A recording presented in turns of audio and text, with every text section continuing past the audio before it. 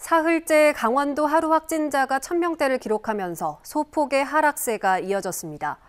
오늘 0시 기준 강원도 하루 확진자는 1080명으로 전날보다 233명 줄었지만 지난주 같은 요일보다는 63명 늘었습니다. 시군별로는 원주 250명, 횡성 31명, 영월 35명, 평창 13명 등입니다. 이번 주 주간 확진자는 4,099명으로 지난주 같은 기간 4,407명에서 300명가량 줄었습니다. 도내 누적 사망자는 1,044명, 위중증 환자는 11명입니다.